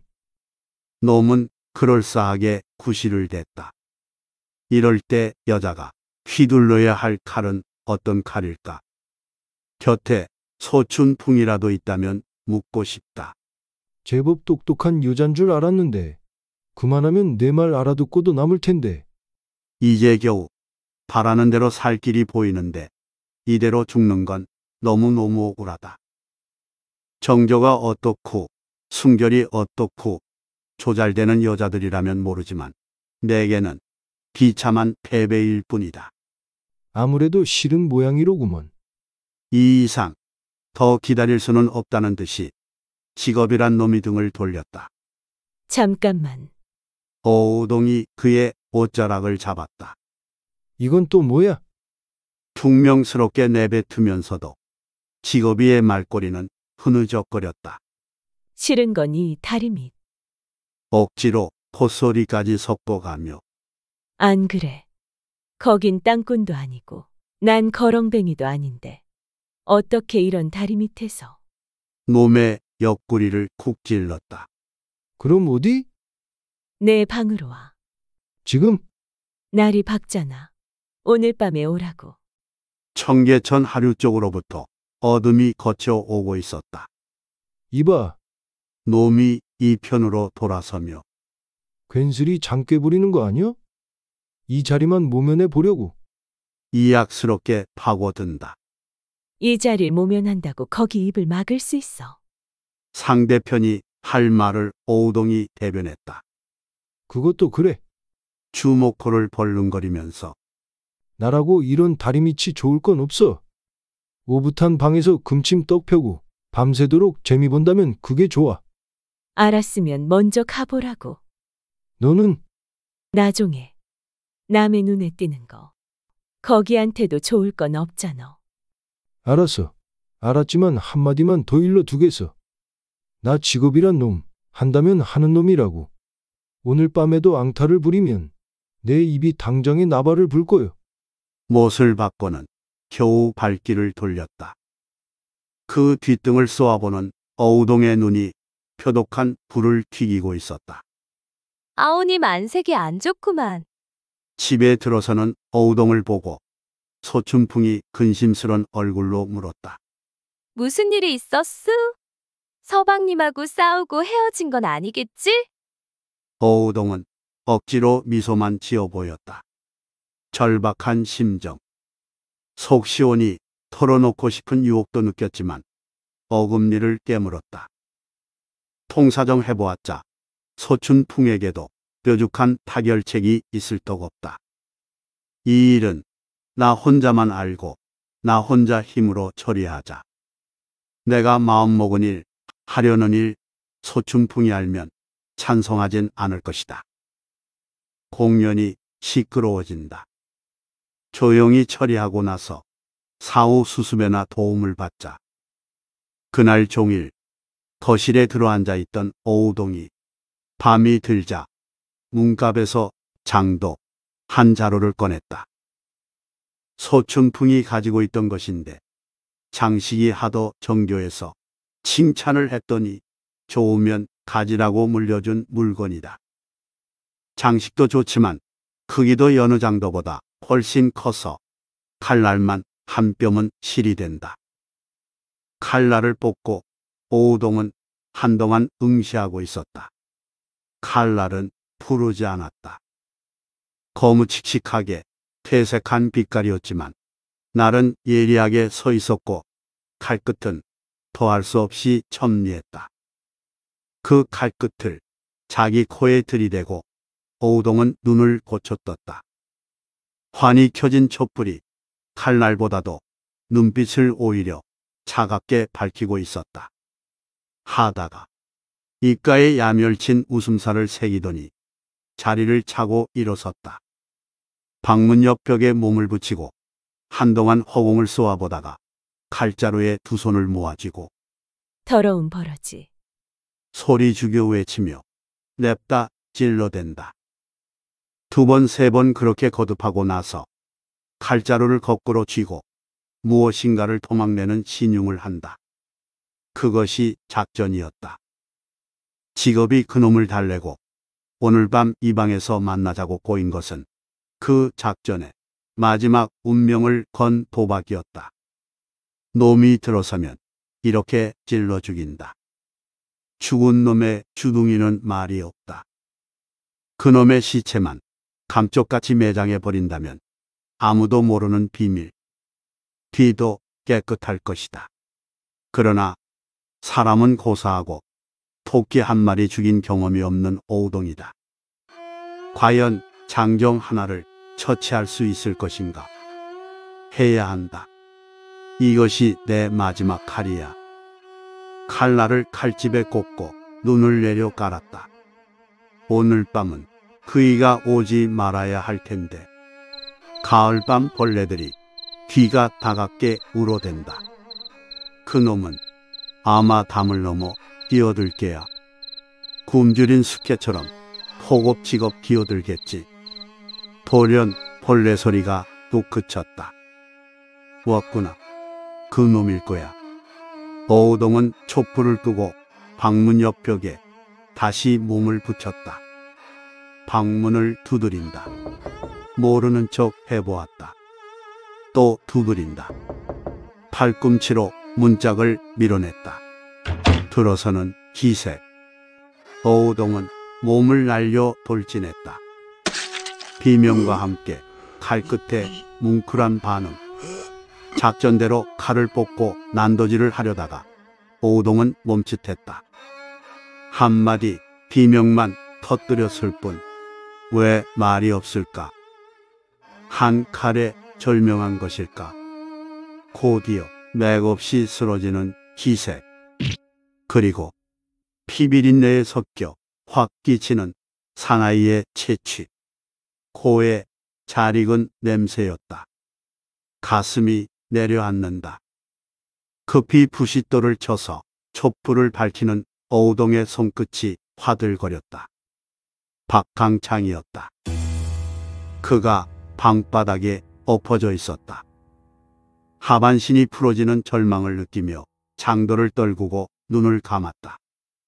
오늘 밤은 오지 말았으면 하고 두려워하던 그가 앞질러 들어와서 이 꼴이 되다니 운명의 자키치고는 너무 잔인하다. 미안하오. 나즈키 말하는 소리에 눈을 떴다. 박강창이 고개를 돌리고 이 편을 보고 있었다. 임자를 놀래 주려던 것이 그만. 여보, 어우동이 그에게 매달렸다. 무엇보다도 살아있는 것이 고마웠다. 이제 보니 도포를 걸친 그의 등마루에 붉은 피가 배어 있다. 그놈인 줄 알고. 직업이 그놈이. 더 말을 잇지 못하고 오우동은 피변 자리에 뺨을 비벼댔다. 대단한 상처는 아닐게요. 그렇지. 이 집 뒤뜰에 뽕나무 한 그루가 있었지. 그 뿌리 속껍질을 벗겨서 집이나 내오도록 하오. 애라도 시켜서 박강창은 침착하게 후구뼈까지 일러준다. 이른바 상백피 그 줍을 흘려놓으면 쇠붙이로 입은 상처엔 효험이 있다던가. 어우동이 달려나갔다. 잠시 후 상백피 줍을 내가지고 들어왔고 소춘풍도 뒤따라 들어왔다. 사나이의 옷을 벗기고 상처에 줍을 흘려놓으면서 그제서야 오동은 직업이의 협박, 그놈의 요구 조건, 어쩔 수 없는 타개책으로 그놈을 유인해서 말살하려던 의도를 이야기했다. 아오님도 답답하구만. 그런 일이 있었으면 내게 의논이라도 하잖고. 소춘풍이 하는 말에 나 혼자 처치하고 싶었다오. 아무도 모르게. 어우동은 비로소 흐느끼기 시작했다. 상처는 대단치 않다니까. 잠깐 뜨끔했을 뿐인걸. 하지만 그 말을 액면대로 받아들이긴 어렵다. 그야 장도 칼날이 들어갔으니 겉으로 보이는 상처는 크지 않지만 얼마나 깊이 찔렀는지 그건 알 수가 없다. 또 대단치 않은 상처였다면 그렇다면 육중한 장골이 왜 비명을 지르고 쓰러졌으며 한동안 말도 못하던 상태는 어떻게 생각해야 하나? 의원을 부릅시다. 내가 의생인데 따로 무슨 의원을? 박강창은 거절하고는 오늘 밤 여기서 푹 쉬게 해주소. 내일 아침이면 거뜬해질 테니까. 자신있게 잘라 말했다. 그래도 오우동은 불안했다. 공연한 허세가 아닐까. 내 마음을 달래느라고 얼버무리는 소리가 아닐까. 불안은 또 있었다. 이러다가 직업이 그놈이 끼어들면 어쩌나. 이런 상황으로 그놈을 죽일 수도 없고 그놈을 없애버리지 못하면 당장 나팔을 불태고 불안은 눈물까지 말려버리면서 오우동의 심골을 흔들었다. 직업이는 상전집 행랑방 한 구석에 쓰러져서 끙끙거리고 있었다. 내가 왜 이러지? 제기랄 엠병이라도 걸렸나? 오슬오슬 춥고 열이 나고 골치가 때리고 허리가 쑤시고 구역질이 치밀고 설사가 잦다. 며칠 전부터 그런 증세를 자각하긴 했지만 대단치 않게 여겨왔는데 모전교 다리 밑에서 오우동과 헤어지고부터 갑자기 심해진 것이다. 누가 그놈의 가슴이나 잔등을 헤쳐본다면 장미꽃 같은 작은 점을 발견할 것이다. 이른바 장미진. 의심할 나위 없는 연병의 특징이다. 다 익은 음식에 콧물을 떨어뜨려도 유분수지. 꼼짝없이 고거. 고 여자를 자식이 된 판국에 이게 무슨 꼴이람. 오우동을 만날 수 없게 된 것이 놈은 무엇보다도 원통했다. 이것도 운명의 심술궂은 장난이다. 그 당시로선 연병에 걸린 환자는 열에 두세 명은 사망하기 마련이며 여행이 살아남더라도 한 달 이상은 호되게 알아야 했다. 그러니 오우동이 성급한 선을 쓰지 않았더라도 직업이의 위협은 적어도 한두 달은 지연되거나 영영 제거될 수도 있었을 것이다. 박강창은 잠들어 있었다. 그 얼굴을 들여다보며 오우동은 애를 태웠다. 제발 무사하기를 그가 양은 한 대로 한참 자고 나면 거뜬히 일어나기를 신에게 빌었다. 어디선가 새벽달기 울 무렵 박강창이 늘어지게 기지개를 켜며 눈을 떴다. 임자, 한 잠도 못 잔 모양이구려. 입은 채로 머리맡에 앉아있는 오우동을 보고 가슴 아파하는 그 순간 눈을 뻔뻑거렸다. 좀 어떠세요? 오우동은 그것만이 궁금했다. 괜찮다니까. 이거 보. 이렇게 싱싱하지 않소? 그는 수선스럽게 어깨를 흔들어 보였다. 실상 등마루가 약간 뜨끔거리긴 했지만 별 이상 없는 것 같았다. 내 염려는 말고. 임자나 한숨 자구려. 이불을 들고 오우동을 끌어들였다. 그렇다면 정말 다행이다. 입은 채로 나란히 누워보았지만 그러나 잠은 오지 않는다. 너무 애를 태운 탓이겠구려. 박강창은 촛불을 끄더니 내가 재워줄까. 끌어안았다. 상처에 해로울 거예요. 그만한 상처쯤 어우동은 사문 마음이 놓인다. 산에 구실을 할 힘까지 솟는다면 우려할 용패는 아닐 거다. 옷은 입었어도 통할 것은 통하게 되어 있는 그리로 사나이는 넌지시 밀어놓으려고 하다가 어우동의 옥문 문 밖에서 멈칫거리기만 한다. 말은 그랬지만 이궁의 태세가 세워지지 않았음을 어우동은 감촉으로 느꼈다. 이상한 걸. 이런 일은 없었는데. 무안스러워하면서 노력하는 기색이었지만 마찬가지였다. 상처 탓이겠죠. 애쓰지 말아요. 그때는 어우동도 대수롭지 않게 여기며 나 잠이 오네요. 살며시 돌아누웠다. 웬일일까? 하루가 멀다고 찾아오던 박강창이 벌써 사흘이 지났는데도 소식이 없다. 어우동은 불안하고 초조했다. 그 상처가 도진 것은 아닐까. 그렇다면 그렇다는 소식이라도 전해주지 않고 그이는 그런 사람이야.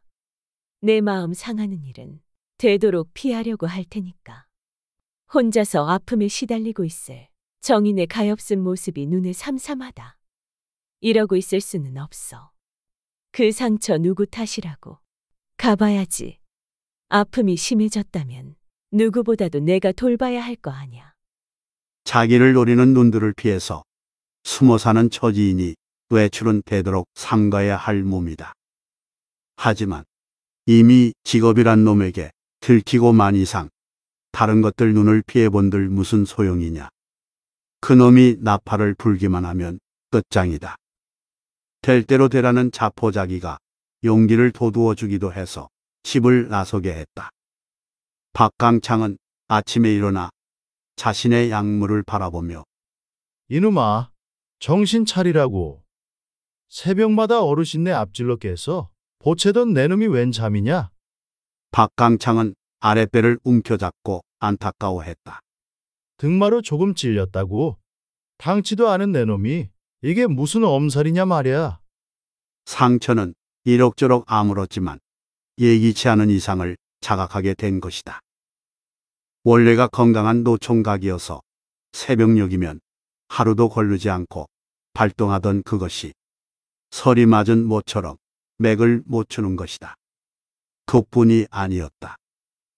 섣불리 건드리기만 해도 독이 올라 팔딱거리던 놈이 아무리 달래고 구슬러 보아도 나 잡아잡수하고 늘어지기만 한다. 박강창으로선 까닭을 알 수가 없다. 그야 어우동의 칼을 맞은 그 방이 셀 무렵에도 이런 편이 있어서 애를 태웠지만 그때는 그저 일시적이거니 여겼었는데 그런 기현상이 그대로 꼬리를 끌고 있는 것이다. 그동안 어우동을 찾아가지 않은 것도 그 때문이었다. 공연한 실망을 안겨주는 게 창피하고 가슴 아팠어. 원상 복귀할 때를 기다려왔는데 이건 막무가내다. 내가 고자가 된 게 아닐까. 단순한 양기 부족이겠지. 자신이 터득한 그 방면의 지식을 동원해서 치료법을 모색하다가 그렇지. 좌욕이라도 해보는 게 어떨까? 큰 함지에 냉수를 떠다가 하반신을 잠겨본다. 원시적인 물리 요법의 일종이다. 좌욕법에는 물의 온도에 따라서 냉좌욕, 온좌욕, 열좌욕 등이 있는데 특히 냉좌욕은 국부의 충혈을 일으키는 까닭에 음위, 정액루, 양효증 야녀증에 효험이 있는 치료법으로 알려져 왔다. 시간은 1, 2분 정도. 그래서 박강창도 그 정도 잠겨 있다가 몸을 일으키고 넌지시 약물 점검을 해보았지만 역시 그저 그 꼴이다. 허참. 비참하게 일그러진 얼굴로 한숨만 흘리는데 문득 방문 밖에 인기척이 느껴졌다. 누구요? 누구이건 이런 꼴 보이고 싶지 않아 급히 바지를 끼고 방문을 열어보았다. 정자 마루 밑에 어우동이 모처미 서 있었다. 임자가 놀라는 박강창에게 어우동은 목을 움츠리며 미소했다. 나무라시겠지만요. 너무 걱정이 돼서요. 무슨 잘못이라도 저지른 동료가 어른의 꾸중을 앞질러 봉쇄하려고 응석을 피우는 그런 얼굴이기도 했다. 그것이 박강창의 눈엔 짜릿하게 닿았다. 어서 들어오. 손을 내리미로 끌어올렸다. 많이 아프진 않으신 모양이네요. 비꼬는 투가 아닌 그것만이 우선 고맙다는 구기로 오우동은 말했다. 상처는 괜찮소. 그러니 임자 보러 갈 생각은 간절했지만 박강창은 다음 말을 잊지 못하고 아직도 치우지 못한 냉수 담긴 함지에 켰는지를 주었다. 어우동은 그것을 보았지만 별다른 눈치는 채지 못하고 있었다. 너무 하셨어요. 얼마나 걱정을 했다고요. 마음이 놓이니 약간은 섭섭해져서 여자다운 푸념이 나간다. 그럴 줄은 알았지만 너무 드나들다가 남의 눈에 띄면 어쩔까 싶기도 했어. 겨우 짜낸 변명이라는 게 어색하기만 하다. 그것이 어우동의 날카로운 신경에 걸렸다. 무슨 일이 있었구만요. 일이 무슨 뭔가 감추는 게 있는 것 같아요. 세상 함지에 눈이 간다. 어, 이거 제발이 저린 박강창은 묻지도 않는데 또 어색한 변명이다. 몸이 좀 근지러워서 묵물 좀 해봤다고. 여자도 아닌 남정네가 방구석에서 묵물을 하다니 역시 곧이 들릴 소리는 아니다. 나 공연이 왔나 봐요. 누가 볼세라 떨면서 말해요. 좀 더 다갑게 수셔대자. 원 별소릴. 나도 얼마나 반갑다고. 허둥지둥 어깨를 잡는다.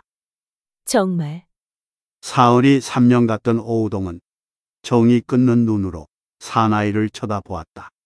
진정이고 말고. 손에 힘을 주면서 박강창은 조바심이었다. 이놈아 제발 잠 좀 깨라고. 사흘 내내 늘어졌으면 기운 차릴 때도 됐잖았어? 사나이의 가슴에 오우동은 뺨을 비벼댔다. 그렇지. 내가 지레 짐작을 하고 쓸데없는 속만 볶았는지도 몰라. 불을 떼자면 불씨가 있어야지. 땔감이 혼자 바둥거린다고 불이 일겠나. 혼자 부르고 쓰며 박강창은 여자를 끌어 안았다. 어우동은 나름대로 부르고 쓰고 있었다. 아무리 마음이 노그러운 박강창이지만 계집년이 칼을 휘두르고 상처까지 입혔으니 사내대 장부 채통에 화가 치밀 수도 있다. 그날 밤은 이럭저럭 참아 넘겼겠지만 두고 두고 생각하니 쾌심해져서 너 연연 맛좀 보라고 골려준 것인지도 모른다. 그렇다면 그 노여움 풀어주어야 하며 살을 섞은 사이로선 방법은 하나밖에 없다. 사나이의 가슴도 깊이 파고들었다. 결과는 비참했다. 불씨는 어느 때보다도 열을 올렸지만 땔감은 끝내 타지 않았다. 지난날 홍찬이 그러했을 때, 자의식의 과잉으로 타지 못했을 때, 타이르고 격려하고 질타해서 분기시키던 자기가 하늘이 되어 주도하던 노력을 오우동은 이번 아낌없이 경주에 보았지만 헛수고였다. 나는 이제 아무것도 줄 수 없는 등신이 돼버렸구려. 임자 볼라치 없구려. 박강창은 자기 머리를 쥐어뜯으며 흐느꼈다. 어우동도 손으로 가슴을 쥐어뜯고 있었다. 사나이가 사흘 동안이나 발을 끄는 까닭을 이제야 깨달았고 그의 생리에 이변을 초래한 원인을 겨우 짐작하게 되었다. 나 때문이다. 내 칼을 맞은 때문이야. 그 칼을 맞은 자리 척추에는 발기중추라는 것이 있었어. 그 신경을 다치면 발기불능을 초래할 수도 있다는 남성 생리의 지식에 오동이 밝을 턱이 없지만 막연히나마 그런 생각이 든 것이다. 나는 어째야 하나. 발기력을 상실한 남성은 남성이 아니다. 박강창. 그의 말대로 오동에겐 아무것도 줄 수 없는 존재. 별 볼 일 없는 인간이다. 다른 남자가 그 꼴이 되었다면 바로 그것 때문에 삶의 혁명을 단행한 오동으로선 미련 없이 차버릴 수도 있다. 하지만 그 책임은 자신의 경솔한 실수가 져야 한다. 그래도 차버릴 수 있을 것인가? 더구나 이 사람은 나에게 모든 것을 주겠다고 헌신해온 사람이다. 심정적으로는 나보다도 나에게 더 가까운 사람이다. 그렇기는 하지만 이 사람이 영영 불치의 불능자가 되고 그래도 내가 등을 돌리지 못한다면 나도 산송장이 되고 만다. 그토록 지겨워하던 생과부로 늙어 죽어야 한다. 여보, 흐느끼던 박강창이 어우동의 손을 잡았다. 창이 있어. 눈물이 있어야만 할 눈이 이상하게 건조한 빛을 발하고 있었다. 우리 다시는 만나지 맙시다. 나 같은 인간 없었던 셈치고 새로 살도록 하오. 임자에게 줄 거는 없을 망정 빼앗고는 싶지 않소. 정말 이 사람은 어떻게 되먹은 사람일까? 나를 속박하지 않겠다는 충정은 알겠지만 그것은 또 하나의 사슬이다. 내 걱정은 마세요. 직업이란 놈이 소문을 퍼뜨리면 언제 어떻게 될는지 모를 몸이 하네요. 그는 문제가 있었구먼. 박강창은 고개를 꼬고 한동안 생각에 잠기다가 결연히 다짐했다. 그놈 일은 염려 마오. 내가 어떻게 해서든지 주둥이를 틀어 막을 테니. 무슨 뜻일까? 그놈을 죽여 없애겠다는 건가? 그렇다면 박강창 그도 무사하긴 어려울 터인데 그 일을 가로막겠다고 하니 그러면 자기를 버리고 나만을 돕겠다는 것이 아닌가? 그만해요, 제발. 어우동은 그의 손을 뿌리치고 귀를 막았다. 간사한 내 감정, 지랄스런 내 관능. 시일이 지나면 어떤 요사를 떨는지 알 수 없지만 그렇지만 이 순간만을 바보스럽고 일방적인 이 남자의 헌신에 그저 울고만 싶은 심정이었다. 열렬하고 불리는 동성들을 어우동은 경멸해왔다. 한 남자를 위해서 여정의 모두를 포기하고 때로는 목숨까지 바치는 그런 여자. 인습의 덮개에 눈이 막혀버린 답답한 소경이 아니면 자기도 남도 속이고 알량한 정문의 꿈이나 그려보는. 그러나 지금은 그들 연려의 충정을 조금은 이해할 수 있을 것 같다. 아낌없이 주던 사람에게 보답하는 헌신이라면 있을 수도 있는 노릇이며 아름답기도 하다. 나도 열려나 돼볼까. 박강창의 이름이 새겨진 팔을 들여다보며 혼잣말을 흘리다가 이건 뭘까? 내가 달라진 걸까? 아니면 또 하나의 어우동이 숨어 있었던 걸까? 혼자 자문해 본다. 어우동은 박강창의 집을 나와 천천히 집을 향해 걸어가는데 오랜만이구려. 귀에의 근소리가 등 뒤에서 들렸다. 홍찬이었다. 거기가 어떻게? 뜻밖이기도 했고 반갑기도 했다. 박강창. 그 친구를 만났더니 간청을 합디다. 뭔가 짚히는 데가 있는 소리였지만 방거리에서 긴 얘기하는 것도 못하고 해서 자세한 얘긴 들어가서 듣도록 해요. 권해보았다. 실은 여기까지 찾아왔으면서도 되돌아갈까 했는데 흐릿한 소리를 흘리며 홍찬이 따라 들어섰다. 자리를 잡고 앉자 홍찬이 다시 입을 열었다. 그 친구 불쌍하게 됐더구먼. 오우동에겐 아픈 소리였다. 그러면서도 거기 어우동만 생각하는 게 아니겠소? 되레 거기가 불쌍하다고 도와주고 싶다고 그래서 간청을 하는 거라고 내게 매달리지 않겠소. 그렇다면 그 간청의 내용도 드러나 마나 환히 짐작은 간다. 그 친구 모두 얘기합디다. 거기와의 관계도 빼놓지 않고. 처음 그 얘기를 들었을 때 솔직히 말해서 나는 불쾌했소. 친구에게 배신당한 것 같은 느낌도 들고 내 구실도 제대로 못했으면서 말이오. 홍찬답게 앞뒤가 엇갈리는 자의식을 씻다가 그러나 그 친구 얘기를 더 들어보고는 나는 나 자신이 부끄러워졌어. 이렇게 자신을 모두 주는 사나이도 있는데 무슨 옹졸한 시샘이냐고. 풀 죽은 얼굴이 된다. 박강찬 그 사람. 천치 바보가 아니면 이 세상 사람이 아닌 선골일 거요. 저 안 먹는 밥이라도 남이 먹겠다면 죄를 치고 심술을 부리는 게 남자들의 속성인데 자기 대신 나더러 거기와 만나달라고 당부하질 않겠소. 지금쯤 무척 허전할 거라고. 그 사람이 또 나를 울리는구나. 물론 자네에겐 조당이 있고 처가 있고 그래서 자네 아닌 다른 사람에게 청하고 싶지만 아무리 물색해도 합당한 사람이 없으니 당분간이라도 어우동의 허기증을 채워주라는 청이었어. 그렇다고 넙죽넙죽 그 사나이 박강창의 충정을 받아 삼킬 수 있을 것인가. 그럴수록 고마워는 하면서도 사양하는 것이 상식적인 인정이다. 거기는 어찌 생각하오? 그건 안 돼. 목이 타서 죽어도 이 물을 마실 순 없어.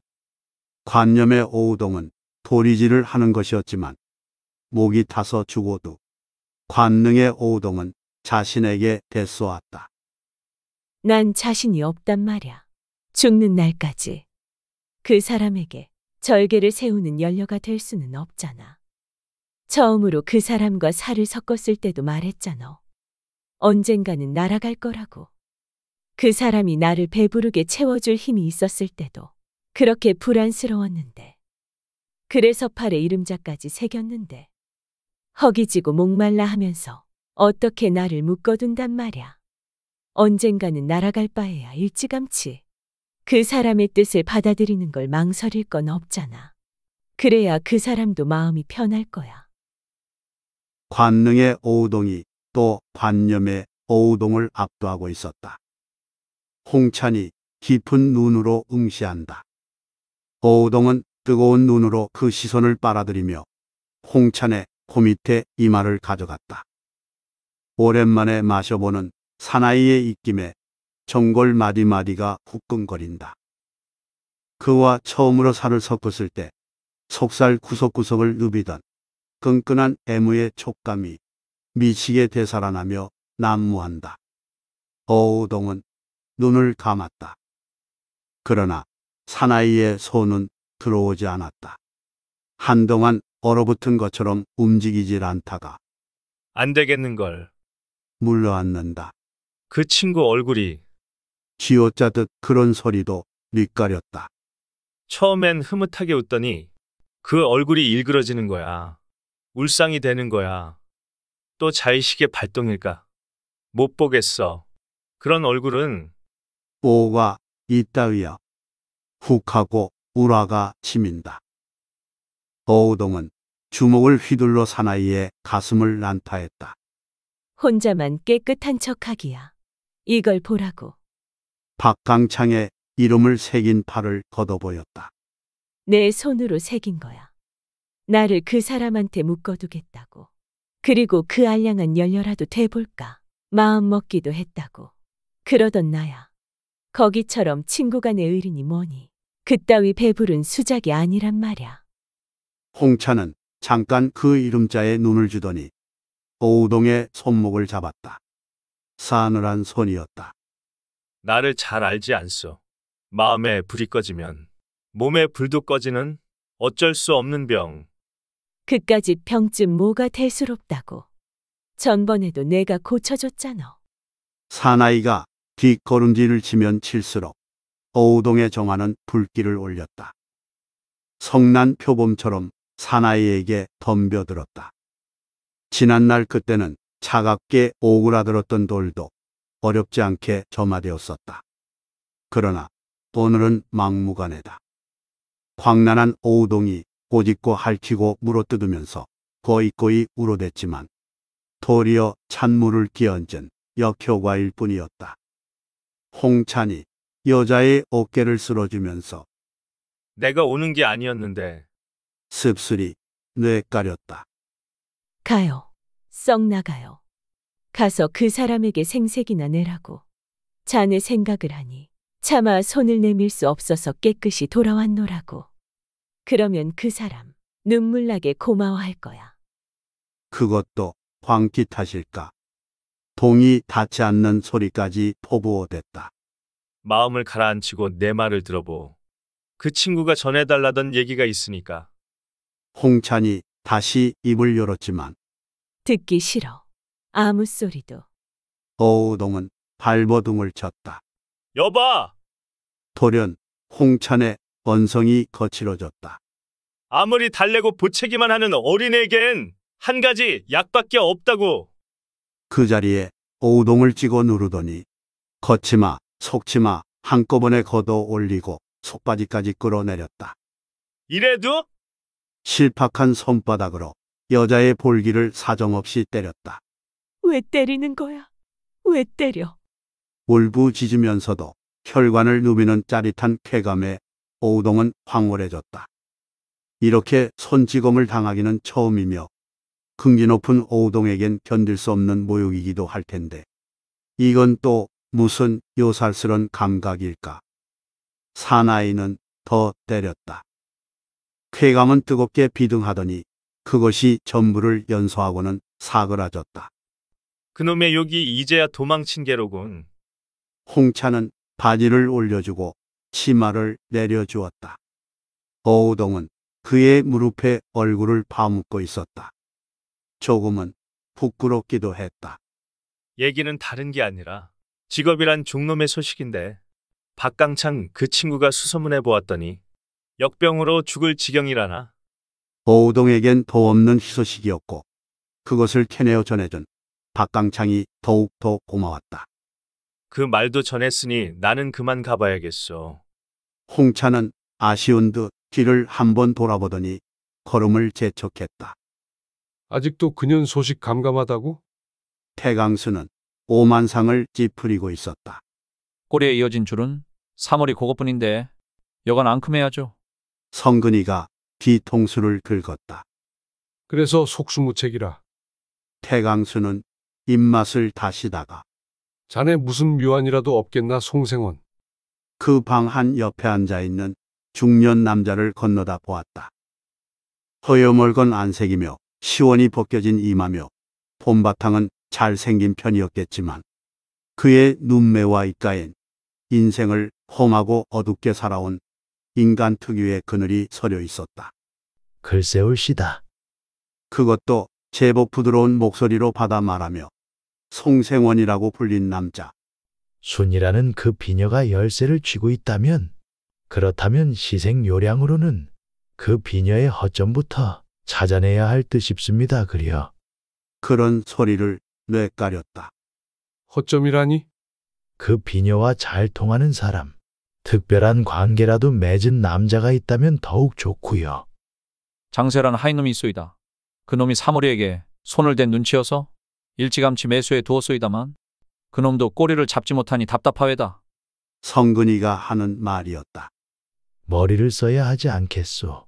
더더구나 그 비녀가 녹록지 않으면 그럴수록 빈틈없는 계책을 세우고 조여대야 할게요. 계책이라. 제갈량도 울고 돌아선다는 자네 송생원.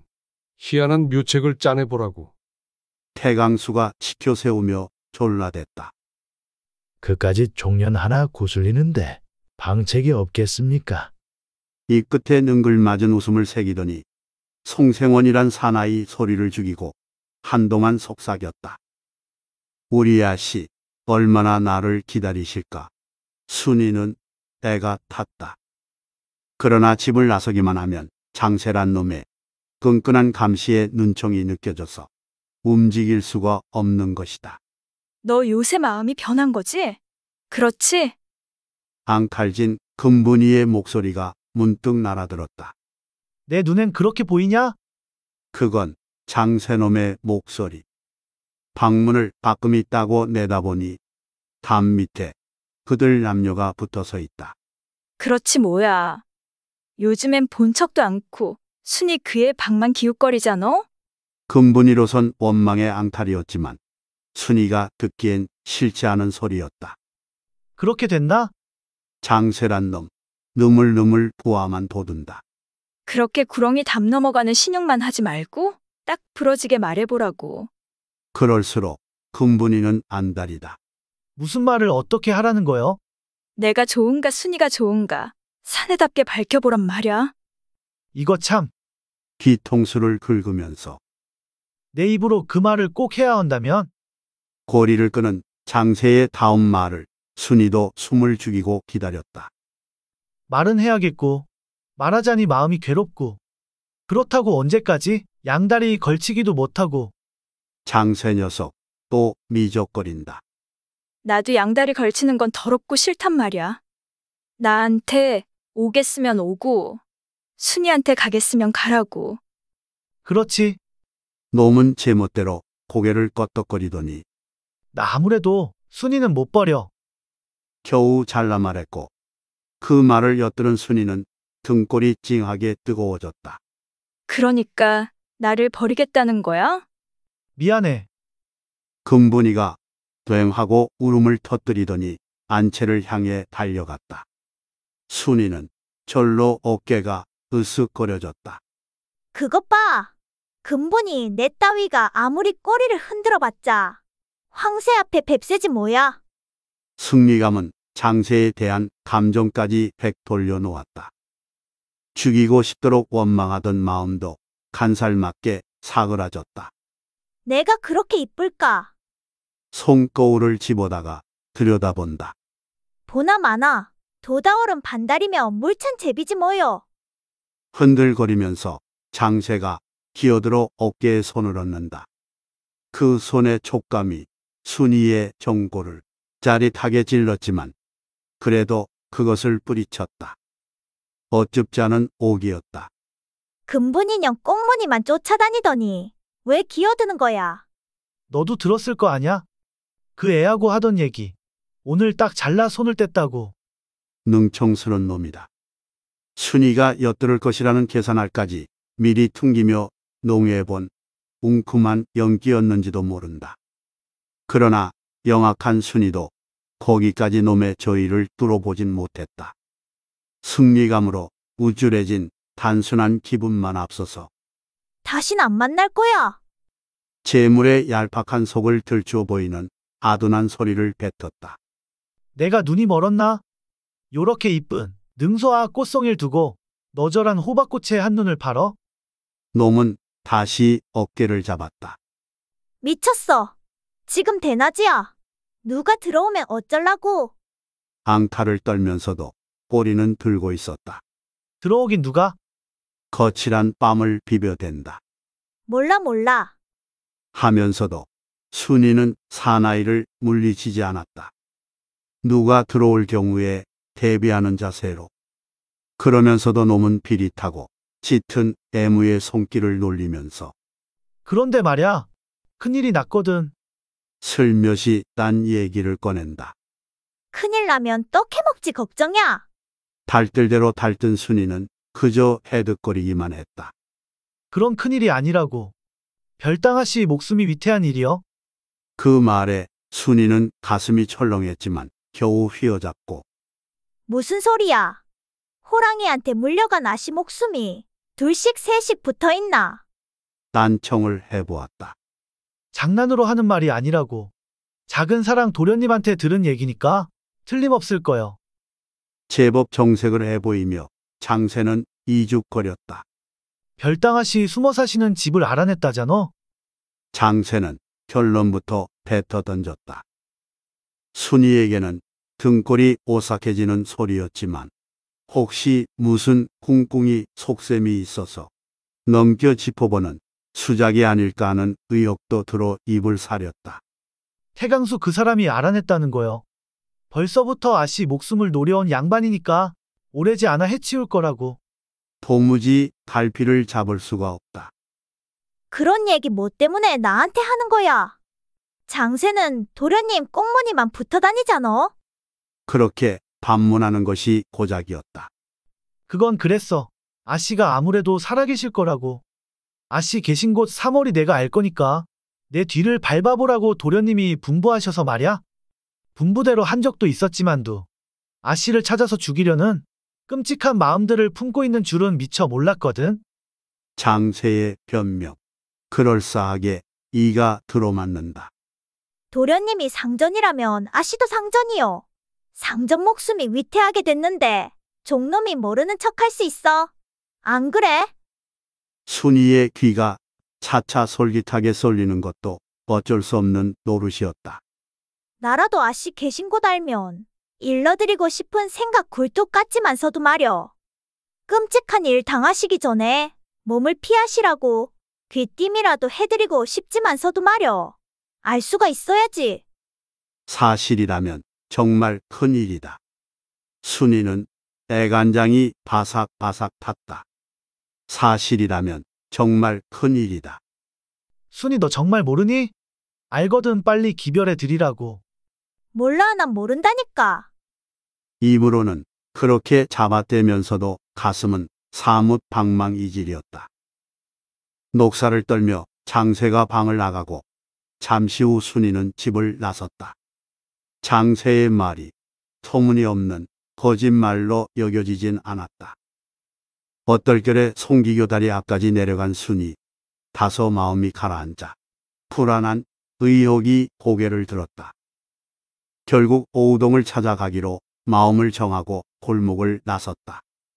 오늘도 오우동은 답답한 시간을 주체하기 어려웠다. 박강창은 물론 홍찬조차 발을 끄는 지 여러 날이 지났다. 언제까지 이렇게 살아야 하나. 이러다가 내 몸 구석구석 신압으로 썩어드는 게 아닐까. 정말 못 견디겠다.